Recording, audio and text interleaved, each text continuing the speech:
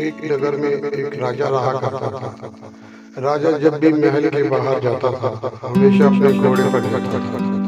एक बार वह अपने नगर को देखने एवं जनताओं की समस्याओं को सुनने के लिए पैदल ही भ्रमण पर निकल गया। उस समय जूते नहीं हुआ करते थे। इसलिए ज़मीन पर कंकड़ और पत्थरों के कारण राजा के पैर दुखने लगे।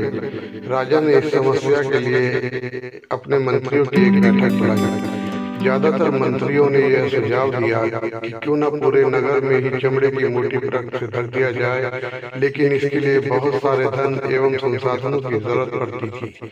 तभी राजा के पास खड़े एक सिपाही ने सुझाव दिया कि पूरे नगर को चमड़े की परत से ढकने से अच्छा है, क्यों न हम अपने पैरों को चमड़े की परत से ढक दें। इससे न केवल हमारे पैर सुरक्षित रहेंगे, बल्कि ज़्यादा धन भी खर्च नहीं होगा। सिपाही का यह सुझाव सुनकर